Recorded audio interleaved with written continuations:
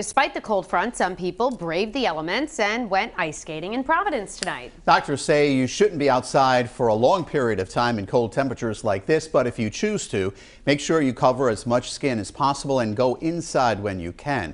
Cold temperatures are especially concerning for homeless advocates who say no one should be on the streets this week. And that's why shelters are preparing for more people than usual. 12 News reporter Shiina LoSciuto has more new tonight. Shiina?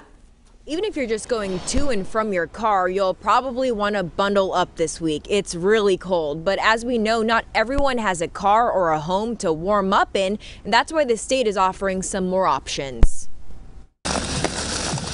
Well, you better stay moving. You can tell by my breath. It is extremely cold. Because when you stop, that's when you really start to feel it. It's a bitter cold night in Rhode Island, and some are spending it at the ice rink in downtown Providence. Very, very cold, and we planned this a while ago, so we were just like, we have to come and do it tonight, but we're paying for it right now. but doctors say you have to be careful in the elements. It doesn't take long to be at risk for frostbite. Make sure you just have a good jacket, an inside shirt pretty thick, uh, extra socks. Those come in handy a lot, actually.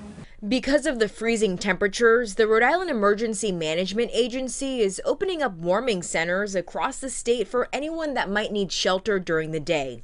Plus, the president and CEO of Crossroads Rhode Island says they too are ready to take in more people than usual. Definitely seeing more people coming in, which is great, but we know it's not enough. We know that there are so many people that are outdoors and in unsafe places right now, and that's that's the real concern. Karen Santilli says the shelter's community room saw double the amount of people Monday night than it did this time last week.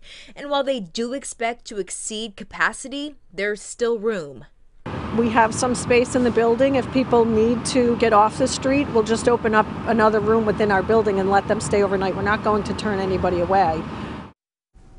And in December, the governor's office announced the state is adding more than 100 new emergency shelter beds to help keep people off the streets. And the governor's office says they hope to announce even more very soon. I'm Shiina LoSciuto, 12 News.